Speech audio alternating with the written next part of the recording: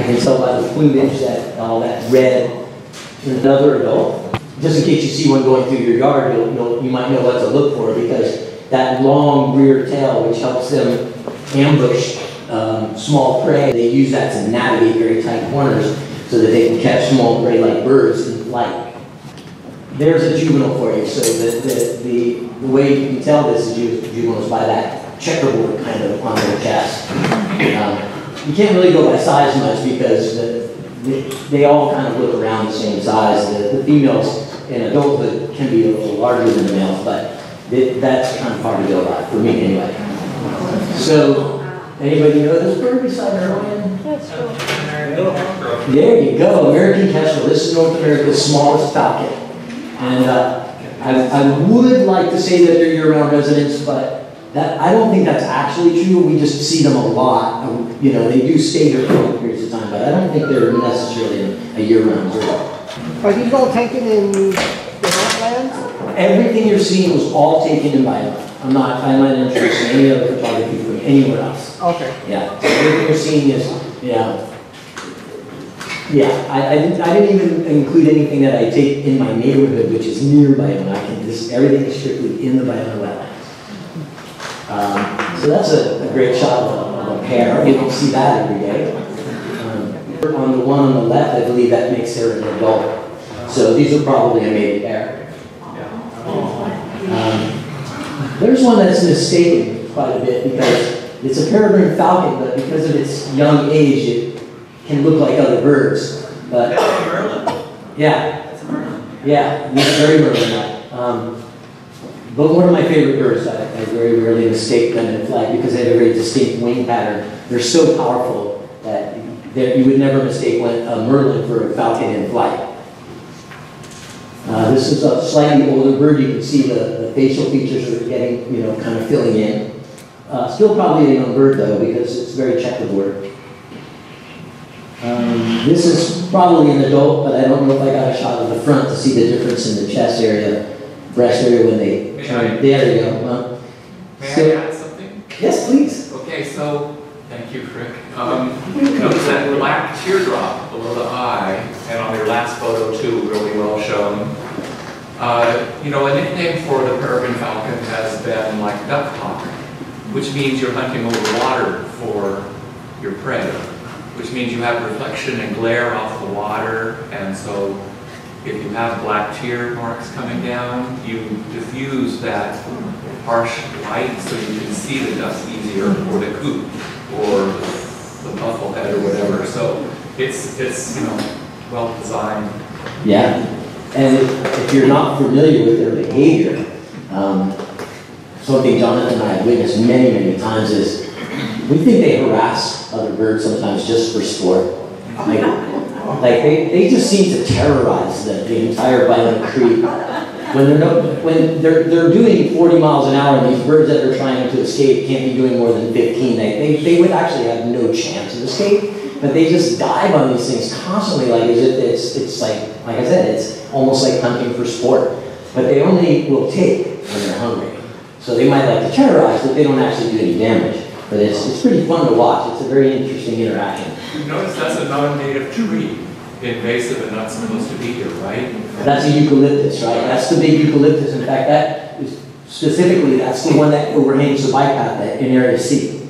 So maybe you look at a eucalyptus a little differently now as a positive feature on the landscape.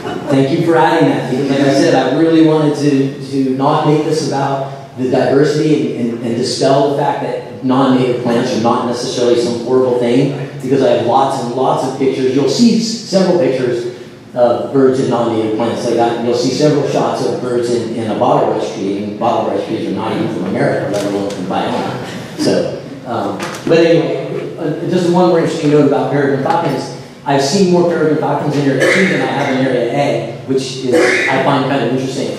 Now, maybe not not the number of times that I've seen them, but I think the number of birds that I've seen because there's a couple of birds that hang out on, on what we call the twin towers or the medical towers that you can see from Area A. And I think those birds were seeing the same bird over and over again. But I think when I'm in Area C, I mostly see birds in motion, so I think more peregrine falcons towards that end for whatever reason.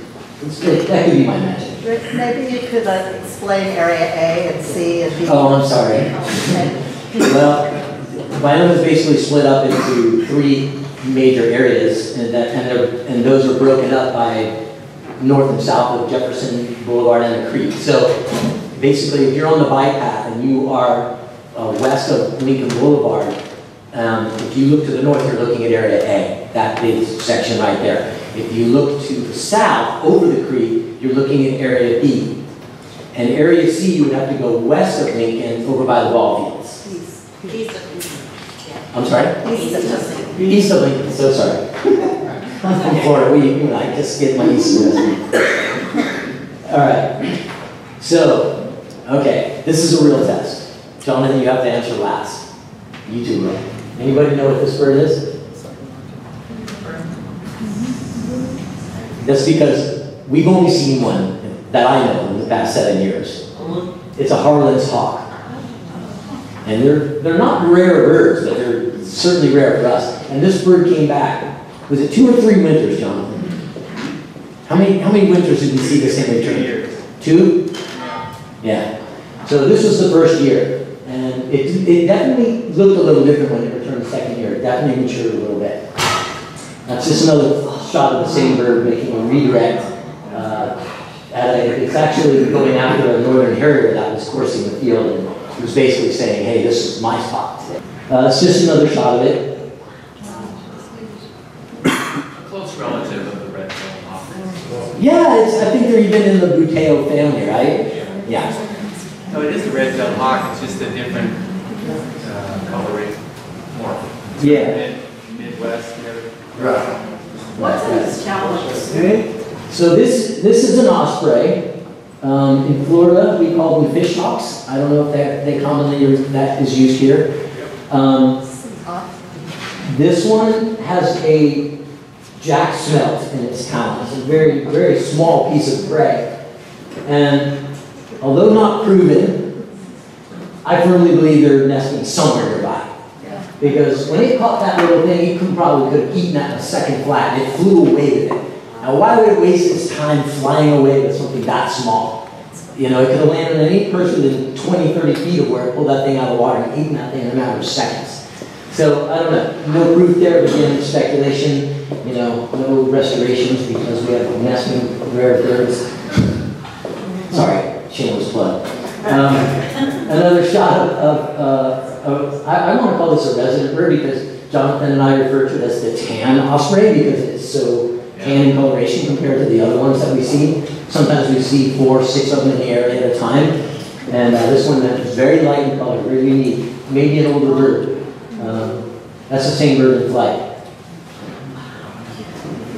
Uh, The so- osprey also has that black facial, and you know, fish hawk, water, seabird, sea hawk. Right. So it's also doing that with being able to hunt for fish to eat better with the glare. Not like, unlike a baseball player wearing black marks on their eyes. I've, I've actually had people on the um, bike path passing by when taking pictures asking me if, it's a, if that's an eagle. I don't know, eagle light, right? And eagles hunt for fish. I mean, it's a, it's a fair question. It's one one of the most magnificent flyers of any bird in the world. Yeah, they're amazing. They're definitely one of my favorites. They're up there. As well as this one.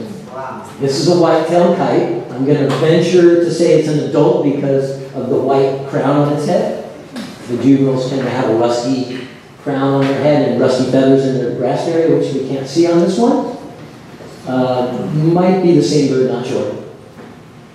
So here's how they got their name. So this is what they call kiting. It's literally standing still in the air, hovering over its prey, because unlike the, the northern harrier, which, you know, ambushes its prey so quick that it never gets to see it coming, this one gets up so high over it and so directly over it that it can't, most rodents, primarily rodents, but will eat other things, but rodents can't see straight up. They can't see up, so that's what they do. They hover over it, wait for it to just, you know, be in, in that open spot far enough away from its hole, and that's it. It's over. Game's over. You drive straight down, and, and the, it, the never sees it coming.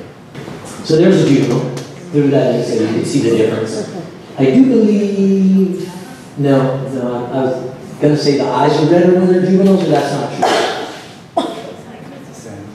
Same, stay, they stay red? Okay. But the, but the rusty coloration is definitely. Is it banded? I'm sorry? Is it the, the left tower, it looks like it's banded? Oh, yeah, I don't think so. It was, like- it was just a weird lighting thing. I, that, that happens to me all the time, actually, thinking that I saw, found that banded birds. But then when I actually zoomed in closer on a computer with high resolution, it, it, it turns out not to be. But I do, we have gotten some banded birds.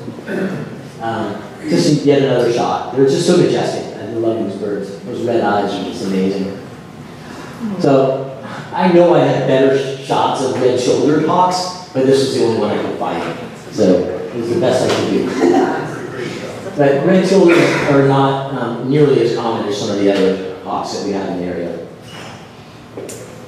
So this is just an interesting interaction. The, the red-tailed hawk on the right has prey, and the Cooper's hawk, I think, is thinking, he's either just angry that the red-tailed hawk is hunting here, or is even thinking about maybe trying to steal the prey. I'm not sure which. They never really got any closer than that, but it was pretty cool to see them both on the same branch. But that is the, I, I had these in reverse, sorry, in the reverse order, I'm so sorry. That was taken before it landed on the branch and the Cooper's hawk showed up. So that's the prey that eventually landed to eat. And it was a very backlit shot, so I had to really add a lot of highlights to get, to be able to see the details and feathers, but that's why it's so washed out. It was a lot of sun that day. Uh, that's it, that's Gopher, yes. And what I do like about backlit shots, though, is they really show why, how they got their name. And look how red that tail was. You don't necessarily see that all the time unless you get that backlit situation. All right, so that's probably the rarest bird I've taken at Bio. If if not the rarest, it's by, it's in the top two or three. This is a called Crested caracara, and it typically doesn't come north of the, of, of the border of Mexico, although they do, but it's not that common, and it's very uncommon for them to make it up this far, right? Yep. Yeah, and this one made it all the way up to, I think, like San Luis Obispo or something, right? Wow. wow. So we were actually tracking it by watching what was going on on uh, um, different uh, listservs and stuff like that. People talking about this Crested Caracara. And it came back, but I, I missed it on its back, on its route back, but other people saw it. You were virtually the first person to see it. I was. And everybody came to go, Yeah. you got me to come real fast. Yeah. You know. I'm sorry, how do you track it?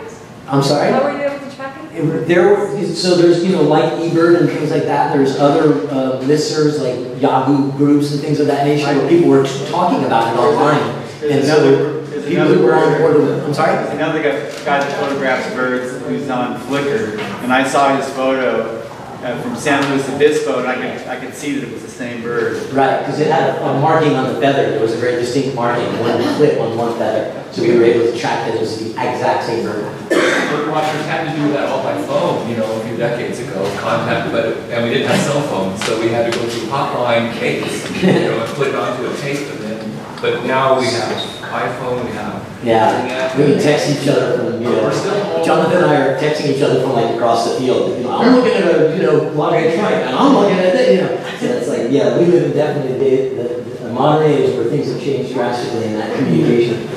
So arguably, this may be the second, or it's in the top three of the most rarest birds that I've taken a shot of at Bio. So, um, The Harlem, Harlem. No. Oh, It's like a Parisian. Prison. Fergie. You got it. It's, it's a ferruginous hawk.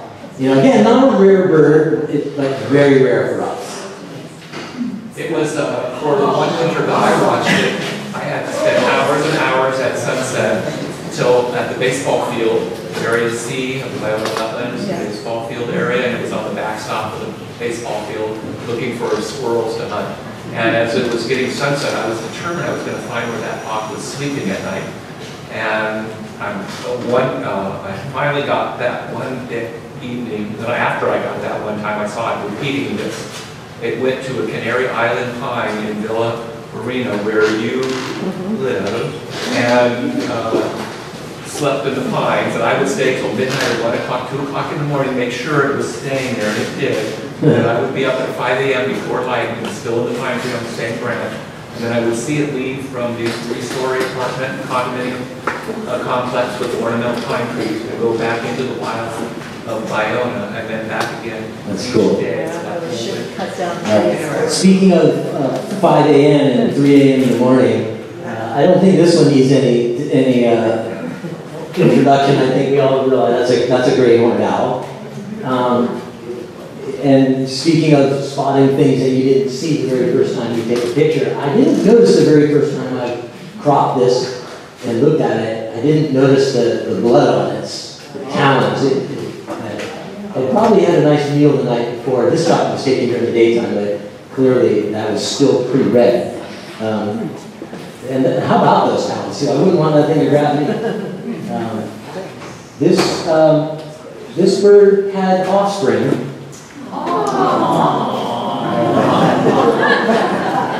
It's like the next best thing to a kitten right there. I'm sorry? Better. Yeah, that's pretty awesome. Um, nobody in this room knows these birds better than Jonathan. I wouldn't have gotten you one of those shots had it not been for Jonathan. He brought me there to show me these, so I got some pretty wonderful shots. He knows these very well, very well. Um, this was kind of a rare occurrence, but not a rare bird. We have a lot of barn owls in the area, but this bird, for some reason, for about a week, was hanging out in the daytime. Like this shot was at 8:30 in the morning. That's pretty rare for a barn owl. They're, they they they in pitch black. Um, oh, I'm sorry. You guys want to see that for just another second? Okay, in the top three. Okay, now now you've seen all of my rarest, rarest birds. This is a short-eared owl. You know, again, I don't think a rare bird, but for us, we really get excited. I mean, I think there were, that one night, the first night the report came out, there must have been 15 people out there with, you know, spotting scopes all along Jefferson Boulevard waiting for this thing to come out. So, oh. yeah, I, these pictures are actually not that good. It was pretty dark, so these are kind of grainy and, and not a lot of detail, but um, This is a grassland owl. They're born on the ground. The mother incubates her eggs on the ground. They never nest in trees, the opposite of a great horned owl. But it's spectacular. Yeah, and cameras really can fool you because they tend to turn nighttime into daytime, and then I further enhance that with Photoshop to get some of that detail in their, you know, coloration patterns, because the shot was actually much, much darker. They, they hunt like the harriers too, and they come out after the harriers, when the harriers start going, going to bed at night, they come out. Yeah, And they have the yeah, same, like different shifts. they live in the ground, they hunt the same way. And they're using habitat that's largely non-native plants, but Yeah. it's native animals living in the non, non-native mice living in the non-native plants, mixed in with native plants together. So this is the last shot I have of that bird, and it was the last time I saw this bird. Um, this was fairly early in the evening, it wasn't quite dark yet, as you can tell by the blue sky, and he was being harassed by a bunch of crows, and it flew higher and higher and higher, and I, and I think it left that day. All right, so there's one of Jonathan's favorite birds. I know this one of my favorite birds too. This is a loggerhead shrike. Um, photographs are very deceptive, so for those of you that aren't familiar with this bird, it's, it's pretty small. It's like sparrow size.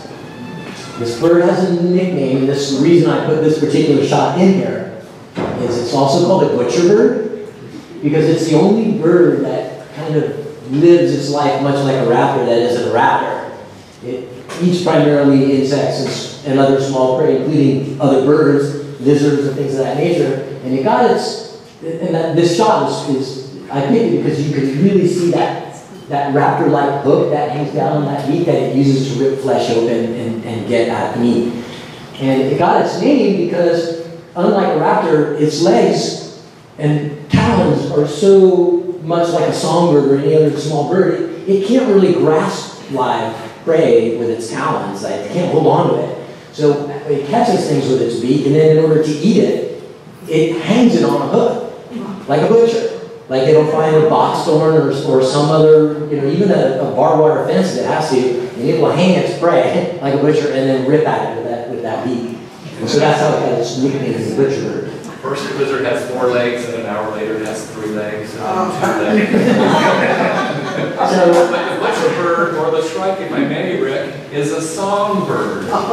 It, it has a beautiful, Yeah. melodious song. and it has really great eyelashes too. If you look carefully, it makes a lot of women jealous with those nice white long eyelashes. Okay, so there's, there's a native forest. This is a fence lizard. These are super common, you know, they're cold-blooded. They're, you don't see them a lot this time of year because it's too cold. They're, they're It's so dark, it looks like uh, uh, an orcutta.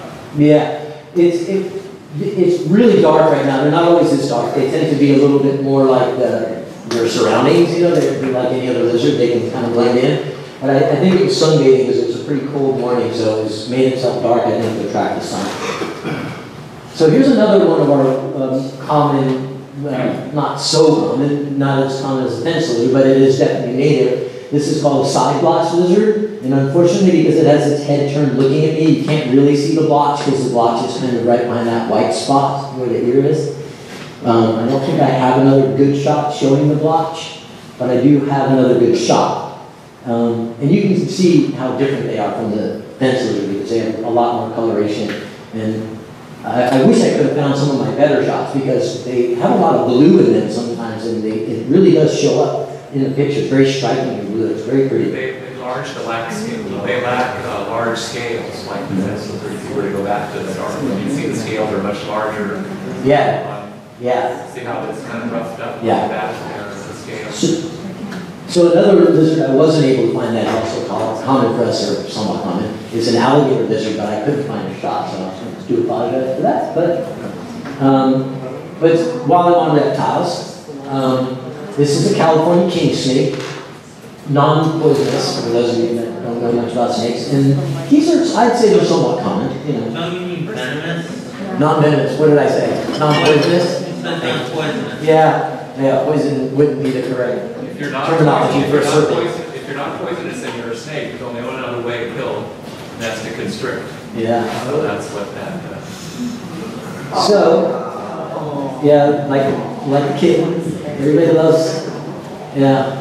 Well, you're gonna love me for that one and hate me for the next one, I'm so sorry, but they, they're, they're really beautiful, but they are probably the coyote's favorite meal. Perhaps the squirrel feed everything else.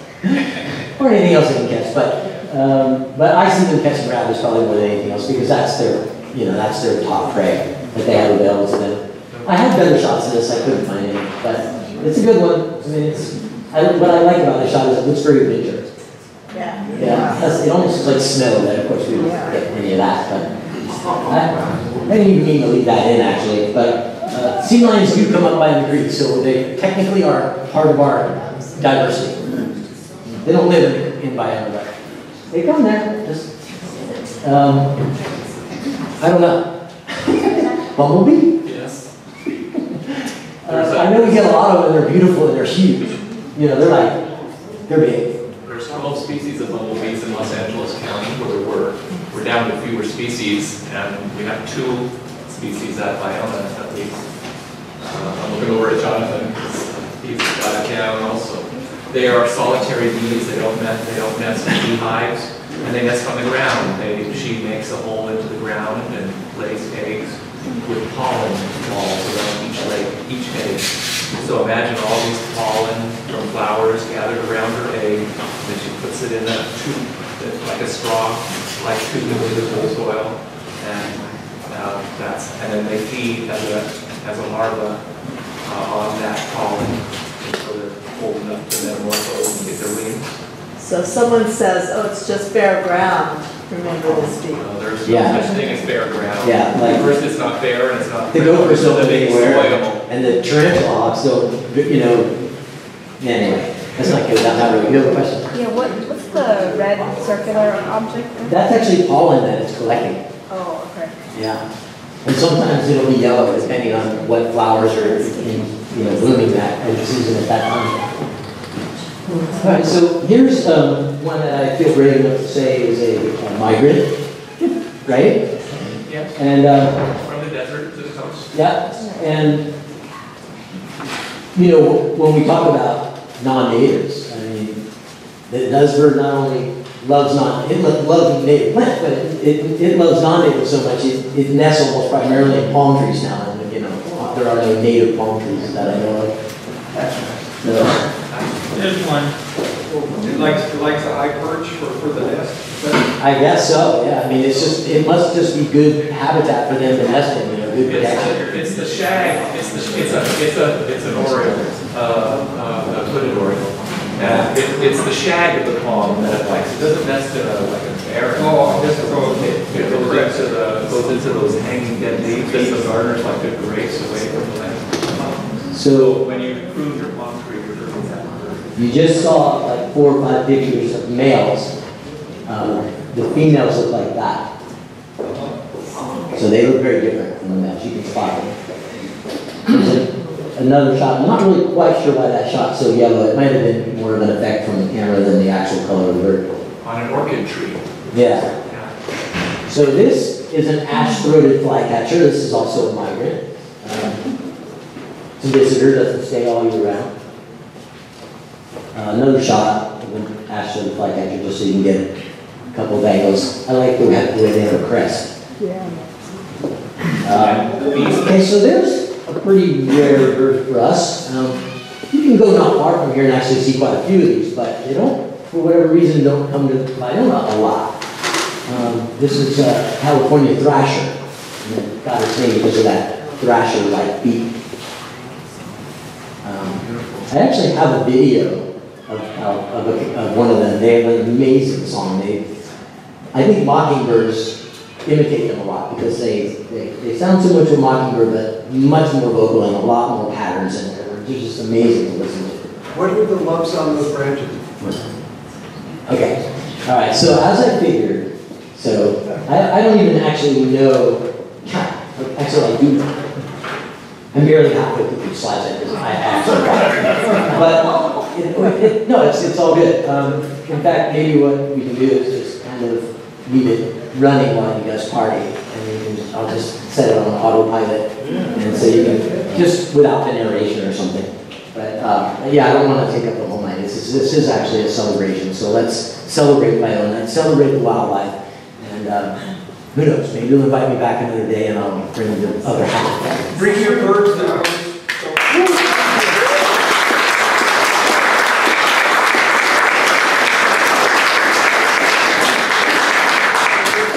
Wow, thank you, Rick. Um, I saw some of the pictures a few days ago. But really, what an awesome presentation. Let's give them another one.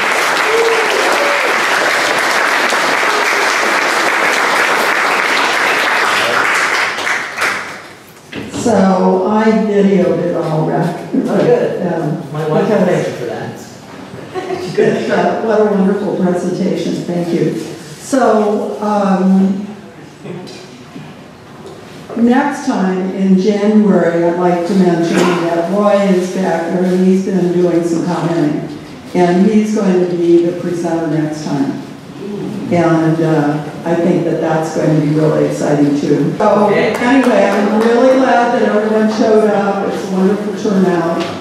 Remember, SaveByEmmett.org, you have a job between the first, before the first of the year. Uh, just go there and get a better education. You'll appreciate all of these presenters more. You understand conceptually how things fit together. Can you hear me? Yes. All right, I want to thank this fine lady and for the sacrifices that her family makes. And what she gives to this organization is fantastic. She has remodeled our ability to communicate with each other and with new audience. And uh, so I want to really appreciate that. It's our last chance this year to thank you. And I wanted to make sure we all did that.